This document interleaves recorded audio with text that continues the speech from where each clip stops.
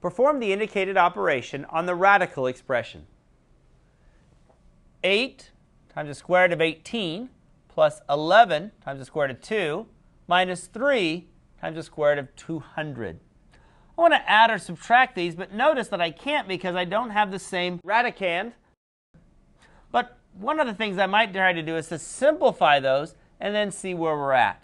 For instance, 8 times the square root of 18 can be written as 8 times the radical 9 times 2 plus 11 times the square root of 2 minus 3, and then 200 can be written as 100 times 2. The square root of 9 is 3, that, so that gets come out. 3 times 8 would be 24, so this becomes 24 square root of 2 plus 11 square root of 2 minus the square root of 100 is 10, so 10 times 3 would be 30 square root of 2. And notice the difference now is that each of these have the square root of 2. So I want to think about the numbers out front. Combining all of these then would be 5 times the square root of 2.